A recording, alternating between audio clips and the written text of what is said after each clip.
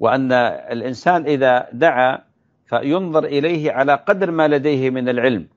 قصة الرجل الذي قتل تسعة وتسعين نفسا. لما ذهب إلى عابد أو واعظ ماذا ماذا قال له؟ هو يريد التوبة إلى الله عز وجل. استعظم الذنب وغلبت عليه العاطفة وذهب العقل لأنه ما يمتلك علم. فقال له استعظم هذا الشيء إن الله ما يتوب عليك. وهذا رجل دموي. فقام فقتله فكمل به المئة. فلما ذهب إلى عالم دل على عالم العالم بكل أريحية بكل سكينة وطمأنينة بكل ثبات.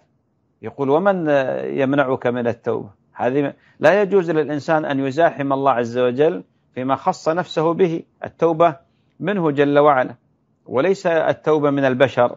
فقال ومن يمنعك من التوبة؟ يقول له بكل طمأنينة. فتاب فأدخله الله الجنة.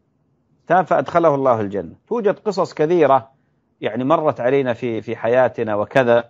يذكر لي بعض الفضلاء يقول بأنه كان في مكة وإذا برجل كبير في السن يبكي بكاء الثكلى بل أشد. ويقول اقتربت منه فيعني ما رغب أنني أتحدث معه. فيقول حاولت وسألته فتبين أنه ارتكب جناية في في أول حياته القديمة المبنية على الجهل ارتكب جريمة كبيرة.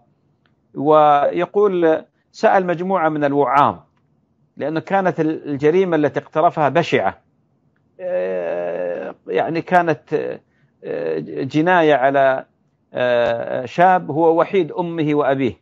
ما عندهم إلا هذا الولد وعلى كبر سن وقتله ظلما وعدوانا حسب ما يذكر الراوي. وهذا كان قديما. فهؤلاء الوعاظ لما قص عليهم القصة زادوه وجعا وألما وحيرة وقنوطا والعياذ بالله وإياسا من روح الله ومن رحمة الله. قالوا أعوذ بالله وحاج بعد يقولون له أعوذ بالله وحاج بعد استعظموا هذا.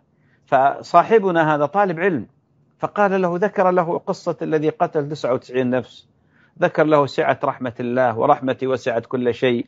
لأن هذا هو المقام. المقام ليس أن تأتي بنصوص الوعيد والتهديد لا تأتي بنصوص الوعد والرجاء. فتفتح له الأمل وتجعله يسبح في هذا الفضاء من سعة رحمة الله عز وجل. فانظر إلى الفريقين. فريق قنطه وأيسه وفريق أخذ بيده وانتشله. وهكذا هو دور العلماء وطلاب العلم. فهم الدعاة حقا وأصلا.